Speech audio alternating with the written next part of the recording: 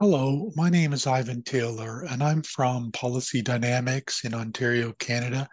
And I'd like to talk to you today about some work that uh, myself and a, a number of, of, my colleagues have been doing over the last couple of years on uh, institutional change to control corruption. Uh, and uh, today we're going to apply the model to Ireland. Uh, we built this model so it, it would be applicable to any country in the world. Uh, my colleagues are Aman Ullah, uh, Mark Sandoval, and Saroj Koul. So we're going to talk about the institutions that we looked at in the model, uh, and the stock and flow diagrams of the model, and uh, control of how we used uh, the institutional change to control corruption. So here's uh, the institutions that we looked at. Uh, there were two types. There was governance and development institutions. Under the governance institutions, there was control of corruption, voice and accountability, political stability, rule of law, government effectiveness, regulatory quality, and control of organized crime. And under the development uh, institutions, there was economic openness, government expenditure, control of inflation, GDP growth, GDP per capita, and control of inequality. These, uh, these institutions were connected to each other as shown here, uh, and we can see a, a number of positive uh, reinforcing feedback loops involved in the governance institutions connections. And this is the uh, relationships between the development institutions uh, and corruption.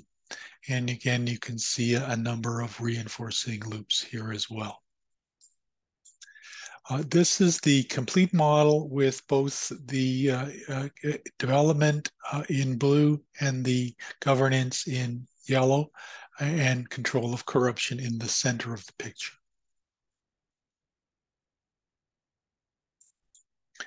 So now we'll get into the stocks and flow diagram. So each of these institutions was modeled uh, as a stock where we had a flow of changing this institution. So in this case, we're talking about control of corruption and changing it over time.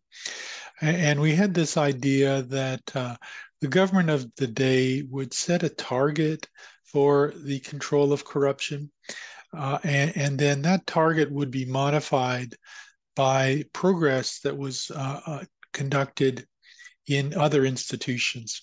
So in this case, we can see that there was a target control of corruption set by the government of the day, and this was modified by progress in these four other institutions control of organized crime, uh, voice and accountability, control of inflation, and control of income inequality. So um, so then that leads to a, a, a, target and and which is uh, which is maybe a gap between the actual value of control of corruption and the target value which is closed over time. And then we have a situation that uh, we calculate the progress in control of corruption uh, based on the current value and the initial value. And then we use this progress in control of corruption uh, to influence other institutions in, in the feedback loop system. So we collected data uh, from the World Bank, uh, the International Monetary Fund, and the World Economic Forum. Uh, and uh, this data was from 1996 uh, to 2019. Uh, and it was based on we, we the, the, the numbers were based on uh, a lot a number of different scales, but we converted it all to a, a, quality scale between zero and one, where zero was very poor quality and one was very high quality. And then we used the historical data to calibrate the model, and then using the calibrated model, we made projections into the future. So here's an example calibration uh, of control of corruption for Ireland uh, between 1996 and 2020. And so you can see that uh, the model tracks the actual values. The model in pink tracks the actual values in blue fairly fairly well. And, and and so we did we did this calibration for all of the of the 13 institutions. Here is the projections, and we see that we have uh, the data from 1996 to 2021, and then we have projections into the future uh, till 2026. And so um, you can see that uh, the projections uh, are, are, are, are, trending downward in a lot of ways. Um, notice here, this is the blue, blue, blue diamonds is the control of corruption. And you can see that the control of corruption is, is pretty good in Ireland, but it is slightly trending downwards. And other institutions are trending downwards as well.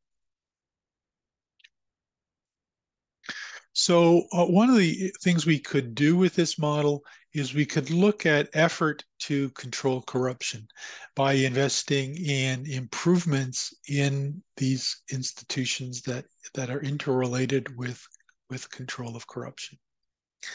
So uh, when we when we looked at the effort distributed amongst uh, the, the various institutions, we found that that the four institutions stood out as as places, a good places to invest effort. And so we have a 20, 27% of the effort would be devoted to control of corruption directly, but other institutions would also be uh, invested in to improve control of corruption and improve the institutions in general.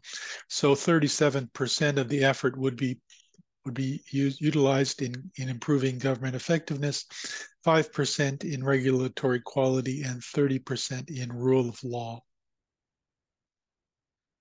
So when we apply this extra effort to uh, control corruption, we get uh, these results uh, for the projections. And we can see that now all of the institutions are trending upwards uh, and, and in particular, control of corruption has changed direction and is, is now moving, uh, moving in a, in a good direction.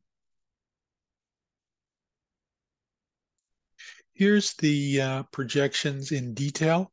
So we can see uh, the institutional quality here with no uh, change in policy uh, and the institutional quality with effort expended to control corruption.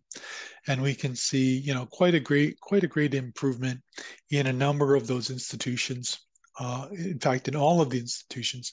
And uh, and so um, we see that basically by uh, by investing in controlling corruption, we can improve all the institutions across the board.